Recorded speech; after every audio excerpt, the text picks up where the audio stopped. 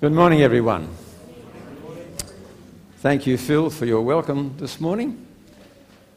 It's nice to be back in one's own church after many weeks. For the last five or so weeks, I've worshipped in a different church every Sabbath. Some of those churches I'd worshipped in before, some I hadn't. But I'd like to just relate to you um, and before I do that, I'd just like to thank Yelena, where is she, and all the team of people who did such a wonderful job in the, uh, preparing the atmosphere for uh, the service today. When we were in uh, Fort Lauderdale, down in Florida, we decided we'd go on the internet and find out where there were some churches. Well, there's a plethora of churches in Fort Lauderdale, so we just selected those which were near where we were staying. So um, we excluded all those which spoke a foreign language, and that narrowed it down to just a few, so we decided we'd set the GPS for the one that was nearest to where we were staying. Sorry? so off we went. uh, don't always rely on GPSs because the church wasn't there. But anyway, we thought we'll go for the next one. So as we're driving, guess what? We passed the one that we were supposed to be going to. So we went there and uh, walked in, and we were the only white faces in a sea of black. But we were made very welcome. We couldn't stay till the end of the service because we had another appointment. So we had to leave as the preacher was finishing, and that was at 12:40. The next week, we decided that perhaps we'll try another church, and so we took the next nearest one, which was in the opposite direction, and we went there, and guess what? We were once again the only white faces in a sea of black. Not that that was a problem. And this church, the first church, I suppose, would have been about a little bit bigger than this church, uh, the second one was over 400 members. And there we, um, we were able to stay to the finish of the service. And so um, at 1.30, you heard me correctly, at the finish of the service at 1.30, we were invited to stay for lunch. And we got away from that church about 3 o'clock. But why, uh, why am I telling you this? Because you know, it's a great object lesson. Wherever you go in this world and go to an Adventist church, you immediately feel part of the family. And the friendliness of both those churches was absolutely outstanding. Now, I have to be frank, I haven't always experienced that. There's been a couple of times where I've come in and gone out and no one said boo to me. But, you know, that's understandable. But the fervour and the commitment of these folk was really quite outstanding. I haven't quite decided this morning which of those church services I'll emulate, whether I'll finish at 12.45 or 1.30, but we'll wait and see.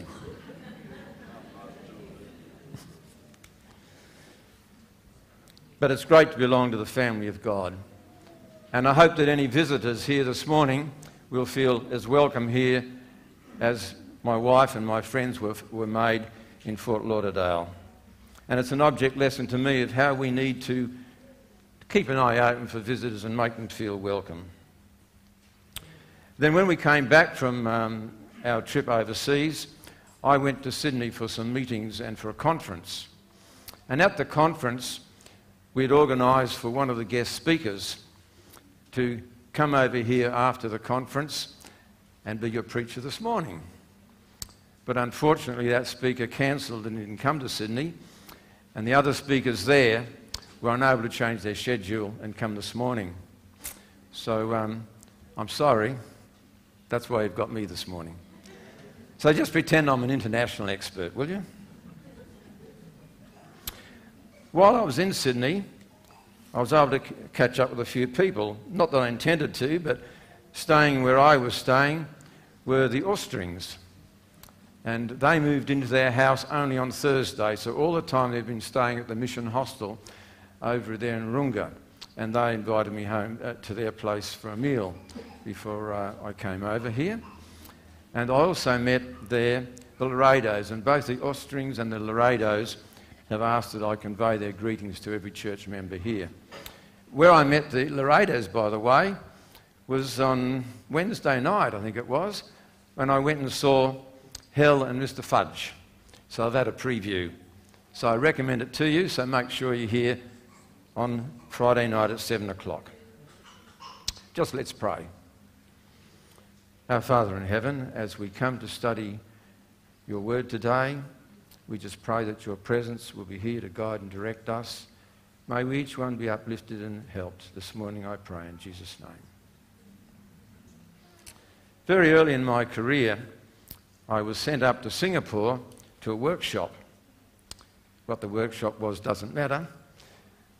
But during the, um, we had the breakfast in the hotel, and at lunchtime, the workshop provided a meal for us. In the evening, we had to fend for ourselves. So a group of us would go from a hotel, from memory, I think it was Bukit Timah Road, walk down to some food halls down on Scotts Road. And I noticed that as we walked along each night, a rather unpleasant odour assailed our nostrils. And about the third night, I couldn't contain myself any longer, and I exclaimed about this. Now, I've always been a great admirer of Singapore. If you want to go to a clean city, a well ordered city, go to Singapore. And so it just didn't fit to me that this terrible odour seemed to be emanating, I thought perhaps from the water course. I even thought that perhaps effluent had escaped. And so I, not able to contain myself, I made a comment. And one of the locals said, Oh, no, no, no, no, no. You know what the problem is? Over there. And I looked over there, and this is what I saw. And I said, Well, I, I, it's a fruit stall. I don't expect to get a perfume from that.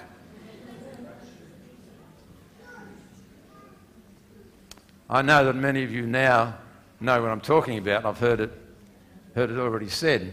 But I'd never experienced this before. And I said to the person, Well, you know, I know many fruits, and even in their worst state of decay, they don't smell like that. But he assured me that's what it was. And I know, and I've noticed many people here know now, that durian, in fact, is pretty foul smelling. In fact, they call it the fruit with halitosis.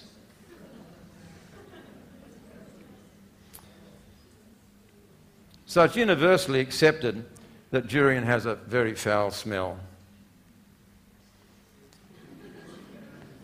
So many people concur with me about the odour that comes from durian. they enticed me eventually to try one. And I didn't get too far with that. And I decided it was something I didn't really want to educate my palate to and get a liking to. But its smell is so bad, and those who've been to Asia will have seen this, there are signs all over the place banning durian.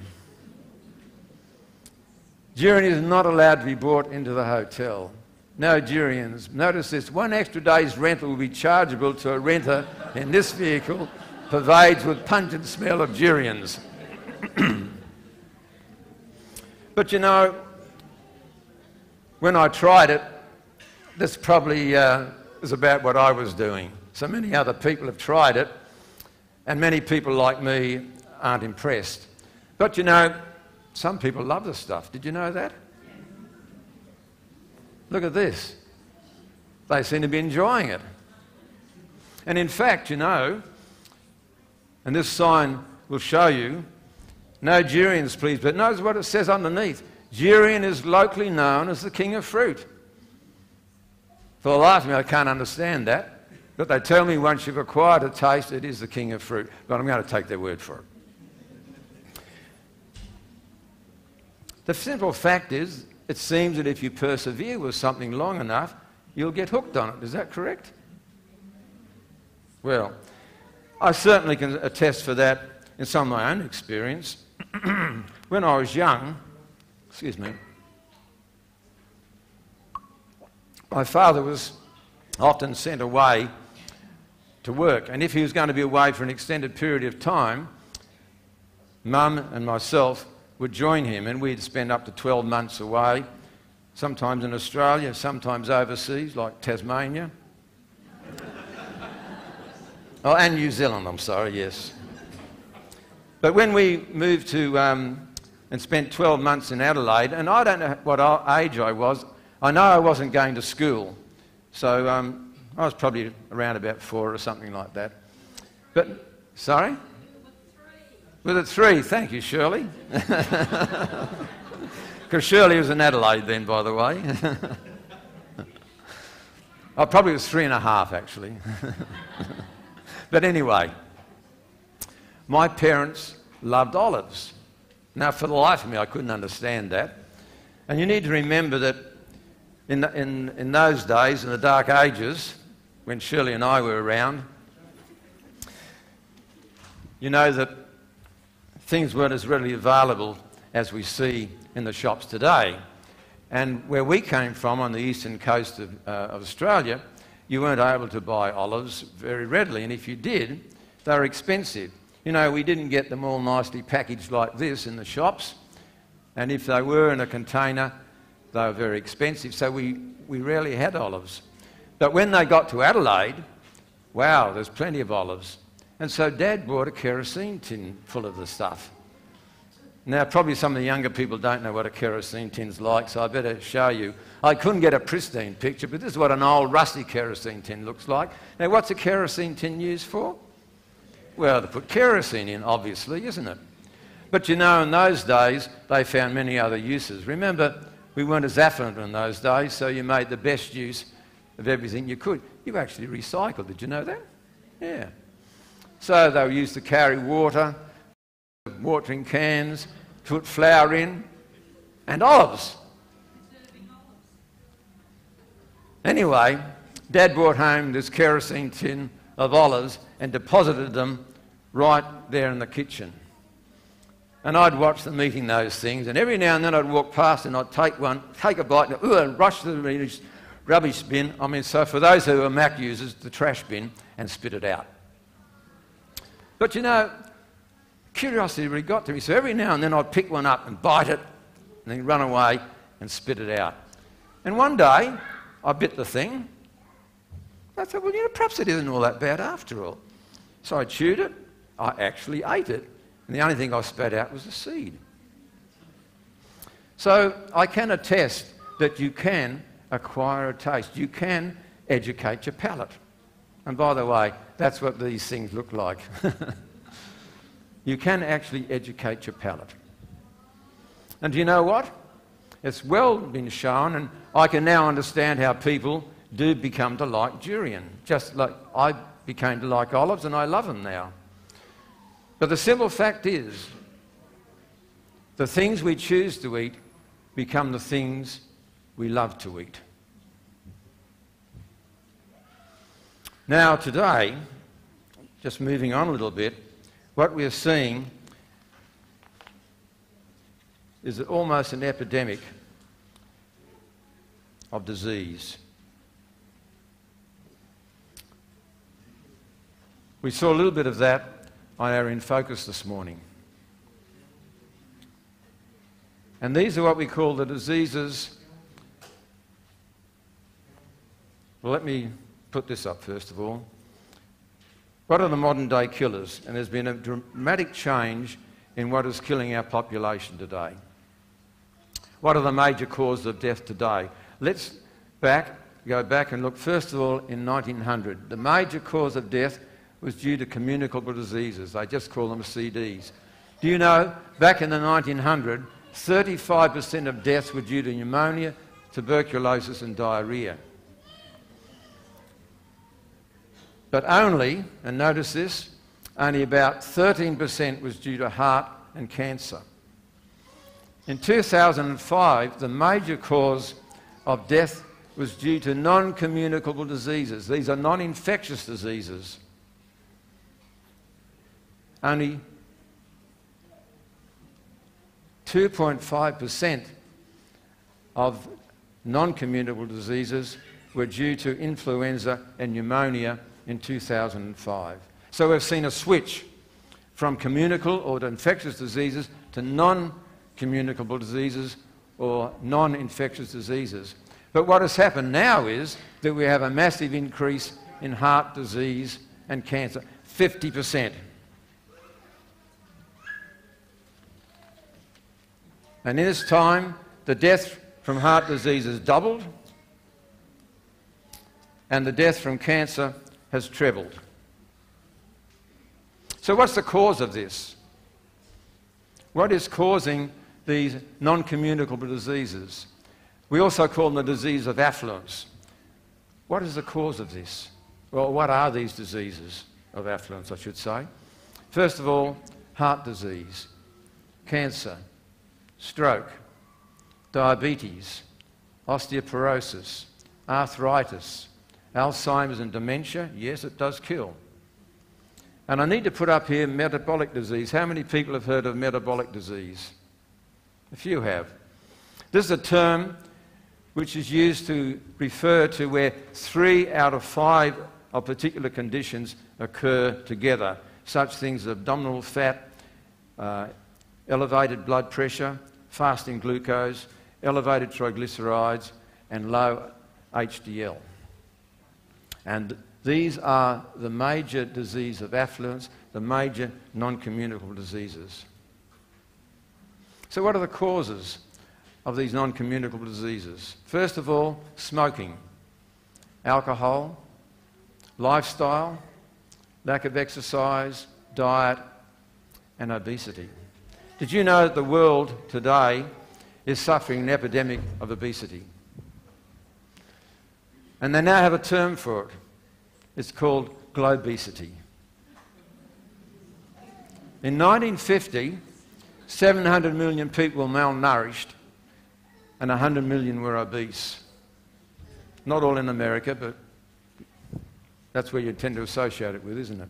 But look what's happened now in 2010.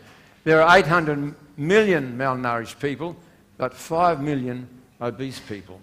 And the projection is that by 2030 there'll be 1 billion obese people in the world if the current projections continue. Now, why is this? Why are we seeing this epidemic of globesity? And it's interesting that Dr. Barry Popkin at the University of North Carolina, who's been studying this epidemic, has made this comment. No country has transitioned from hunger without shifting to obesity. So, why is this? Are we eating just too much? Too much good food? And so we now have a global problem. It's called globesity. The simple fact is the world's population is getting fatter.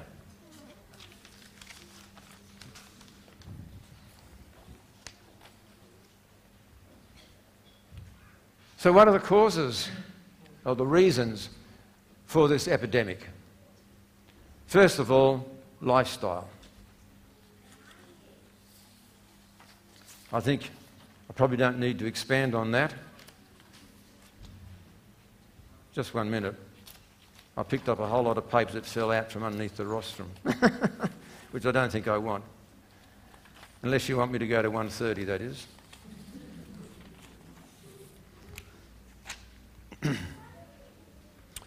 and the second one is diet. Now, what's the problem with diet? It's the modern Western diet. What's wrong with it? It's highly processed and refined. It's high in fat and oil. It's high in salt. It's high in sugar. It's high in protein. It's high in calories. It's low in plant, whole plant-based foods. And so what we're finding, and, and Dr. Uh, Professor Barry Popkin also calls these food products, or we can call them processed foods, junk food, uh, and these are being exported to the developing countries. The fact is that these countries feel that as they're becoming more economically viable, the population has more spending money, they need to become like the West. That's the standard of excellence, the West. And of course, the multinational companies are willing to accommodate them with this. And so they're exporting all our processed foods to the developing countries. And they adjust the price to suit the particular locality. If they can't afford as much as we pay in the West, they'll drop the price. And so the food companies have been expanding into these developing countries. Three quarters of their economic growth is now from the developing world, not from the West. The result? Globesity. Let me give you some examples very quickly. First of all, let's have a look at India. Obesity has only been seen in India in the last 15 years. Tens of millions of people have diabetes, and they don't even know this because they don't have access to medical facilities because they're too poor. But they can afford to go and buy these processed foods. They're forsaking their traditional foods. Another example China. In 1990, there was virtually no obesity in China. Now, one third are obese and overweight. That is 380 million people. And furthermore, diabetes in young adults is four times that in the United States of America. How wonderful is the move from being underdeveloped to developed, eh? Another example is Brazil. And you know, why not accept it? If you can accommodate your taste, perhaps you can accommodate your eyesight and make obesity a glamour event. In Brazil, there have been studied 37 cities. And remember, the cities there often around 20 to 22 million people, so we're looking at an awful lot of people. And what have they found? Obesity is increasing at 10% per annum. 50% of Brazilians are now overweight and obese. Another example is Mexico. So we can see some overweight Hispanics here. In 1980, there was no obesity in Mexico, or Mexico if you like. Today, in 1999, one third are overweight and obese. In 2006, two thirds were overweight and obese. And notice this, and this will surprise you there is more adult obesity in Mexico than in the United States, and that used to be the number one obesity country.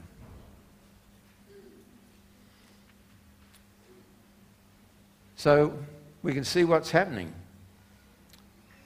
We're exporting our lifestyle and our food to the third world countries. And what they used to have, their old traditional foods, which kept them nice and healthy and well, they're now acquiring a taste for Western food and they're paying the consequences. But there is good news. We can do something about this epidemic, epidemic of obesity. And I just want to tell you very quickly about the CHIP program. Now, I know many of you have heard about CHIP. It was founded in 1986 to combat coronary heart disease, and it stood for Coronary Health Improvement Program. However, they found, after many programs being run, that not only were people's coronary health improved, but they found that a whole lot of other medical parameters were being improved. And so, when Sanitarium saw how effective this program was, they decided to fit it in with their new wellness and lifestyle logo. And so they purchased from Hans Diehl, and Hans Diehl now works for Sanitarium. And they put $4 million into upgrading the program, making it more up to date with modern statistics, changing the, uh, the units to units, and uh, adapting it to America as well as to Australia. And they decided, in view of how good this program is in improving overall health, they now call it the Complete Health Improvement Program. and the good news is that this program works. It can combat these modern lifestyle diseases. There have been many papers written about how uh, CHIP is successful. We won't have time this morning, but I'd just like to refer to one. This was a study done on Australasia, New Zealand, and Australia, and looking at people, what happened to them on an over 30 day period of the CHIP program. BMI, and remember these are average figures. Some individuals got greatly larger results. This is an average. Remember, some of those will not have been complying to the program very well, others will be complying to it very well. So it's an average result. So that's very important to remember. BMI, body mass index, there was an overall re- average reduction of 3.8%. Systolic blood pressure 5.6, diastolic 4.6, total cholesterol 14.7, LDL 17.9%, triglycerides 12.5%, and fasting glucose 5.6%. And you can go and look this up on the New Zealand Medical Journal. It was published last year. so, but what's it look like in the long term? Do people adhere to it? Can they adhere to it? Do they continue to get results? And just this year, there was published um, the results of a study over three, uh, from people who did the CHIP program three years ago to see how they were going. And the important thing with this is that they found that people who had persisted with the CHIP program continued to enjoy benefits, but not only enjoy those benefits, but even better benefits. And this tells me something very clearly which relates back to our original story. We can educate our palate. And these people on the CHIP program have been able to educate their palate. And you know what?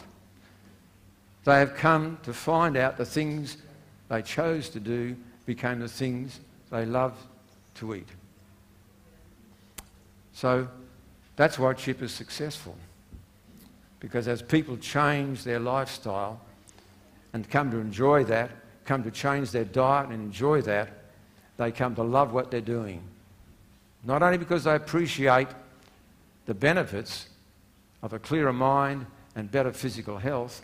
There was one lady in New Zealand who um, couldn't even walk to the phone. She was out of breath and couldn't talk on the phone. And after the CHIP program, she's now able to talk on the phone and walk. And she's continuing to get uh, improvement. A lot of people say to me, well, that's all very nice, but you know, I've got coronary heart disease and uh, I've got this and I've got that. It's too late for me. And the rule of dogma has been, in fact, that coronary heart disease was not reversible. But some work done by Dr. Esselstyn, and I haven't got time to go into his program, showed that this is not the case. Here's an angiogram. A is before this person started this lifestyle program. Look at the occluded coronary artery here. And this is after being on the lifestyle program. That occluded artery has now opened up again. So we can get improvement by educating our palate. By choosing these things, we can come to love them. Now, the CHIP program has been a wonderful blessing to many people. Thousands have done it. Not only has it been a blessing to church members that they're able to help them be better stewards of the body and the health that they have, but has been a great blessing to the community. It is following the gospel example of Jesus, who most of his ministry was done in healing, wasn't it? Just at the beginning of this, uh, this morning, someone told me about a program that they're going to close down because it hadn't brought any baptisms, not bring anyone to Christ. Did Christ do things only with one view in mind, a baptism or winning a person to Christ? Did he? Very few are recorded being followers. The ten lepers. Only one came back to even thank him. We're not even told whether he became a disciple. Because Christ came to relieve suffering, which is the result of sin. And don't you think, as Christ's followers, we should be doing the same thing with the knowledge that we have to be able to relieve suffering? But if you want to have uh, a reason for doing it, other than for compassion and helping people, if you want to put your church on the map, do the CHIP program.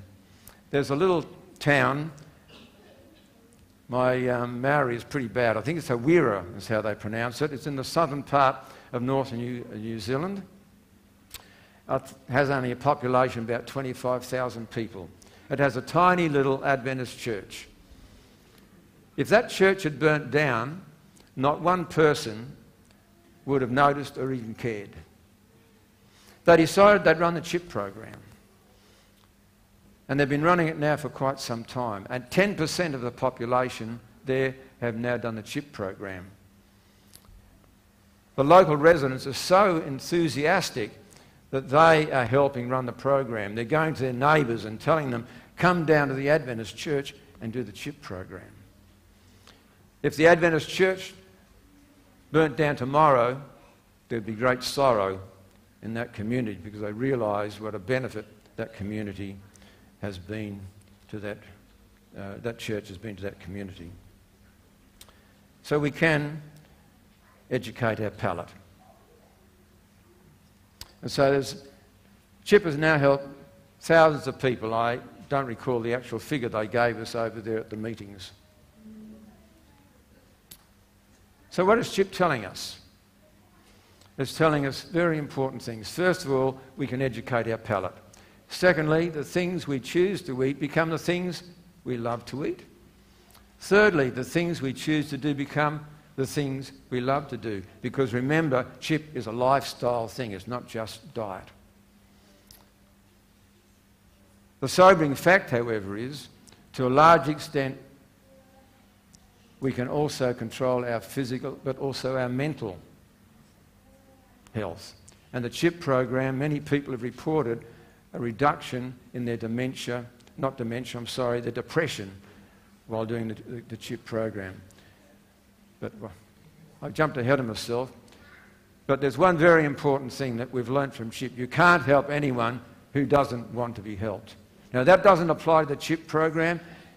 It also applies to Christianity.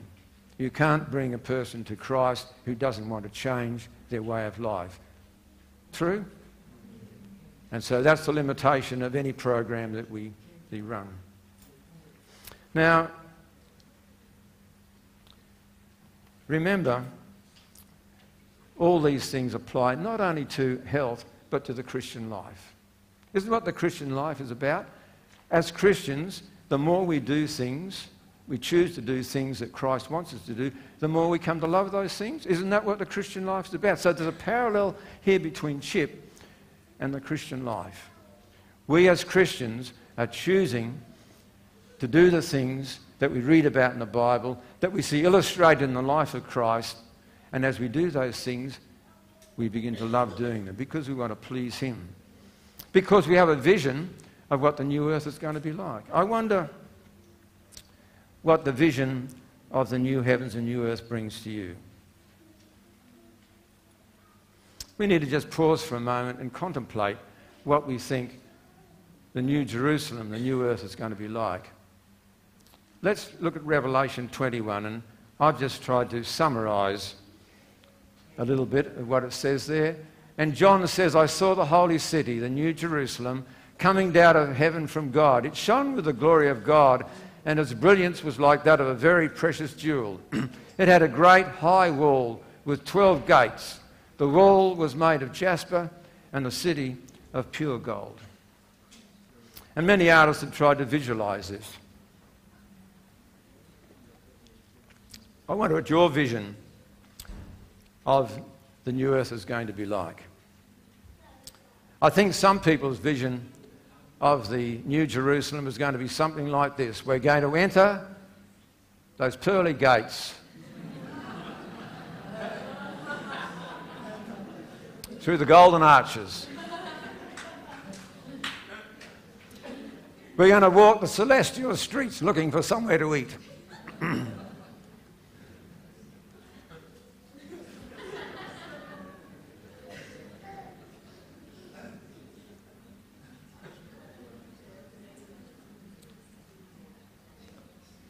I hope some people won't be disappointed. The simple fact is that what we're doing here is preparing us to be inhabitant of that celestial city. Let's just think for a moment what we're told about what's going to happen in the new earth. They'll neither harm nor destroy in all my holy mountain. There'll be no more death, or mourning, or crying, or pain, for the older order of things has passed away. Isn't that what we're looking for? Can't we all agree and say yes to that? Amen. Amen. But remember, outside the city are those who have strayed away from God, and the sorcerers, and the immoral, and the murderers, and the idolaters, and all who love to lie and do so. You know what God is going to decree? Let him who does wrong continue to do wrong. Let him who does right continue to do right. And then he says he will enter in, or she will enter in to the New Jerusalem. So, what's that telling me? We're not going to be miraculously changed at the second coming, are we? Where taste, our behaviour, our love, our desires aren't going to be miraculously changed from what we're enjoying here to something new and wonderful in the new world in the new earth. We are training, if you like. We're educating our palate, if you like. We're choosing to do those things which will make us citizens of the celestial city. We'll enjoy that. We'll love to do it. We all, as Christians, need to stop and think what we are doing. If we love does it fit in with what God has described we need to be doing. If it doesn't, I'll tell you one thing we'll be most unhappy saints. If we get there, that is. And God, of course, forgives all. So we need to think about this and remember that we are in training. We're developing our tastes, what we love and what we like to do. David said, I desire to do your will, O my God. Your law is within my heart. He enjoyed doing that. Didn't mean he did, never made mistakes. But we need to enjoy what we're doing. And we need to remember when Paul wrote to the Corinthians, 1 Corinthians 6 9 to 10, the immoral, the thieves, the greedy, the drunkards, the slanderers, and the swindlers will not inherit the kingdom. We know that. And then he reminds the Corinthians that's what some of you were. But you were washed, you were sanctified, you were justified in the name of the Lord Jesus Christ and by the Spirit of God. And that is the process that should be working daily on each one of us. It's a continuing process. So we who are accustomed to doing evil become accustomed, but love doing good. So Christianity is about change here and now. It's not about pie in the sky by and by. It's choosing to do those things here uh, that will become the things we will love to do there. Does that register? The things we choose to do here will become the things we love to do there. It has been said that Christianity is not about getting a person to heaven by and by, but getting heaven into a person here and now. Christianity is not about getting a person into heaven by and by, but getting heaven into a person here and now. Impossible? Or No things are impossible, God. The power to do this comes from God, not from ourselves. We don't have any righteousness of ourselves, but we can seek His power and His strength to prepare to be citizens of this new order that He's going to set up. Let's just bow our heads. Father in heaven, we thank you today for the hope that we have in Jesus. We thank you that we can look forward to a new heaven and a new earth. And Father, we do want to be citizens of that new heaven and that new earth. And we want to prepare here today on this grubby old world, this filthy old world, this depressing old world. We want to prepare here to be citizens of that kingdom. We can't do this in our own strength, Father, but we can help one another. But above all, we can rely on Jesus and do all things through him which strengthens us. May this be the experience of each person, we pray in Jesus' name.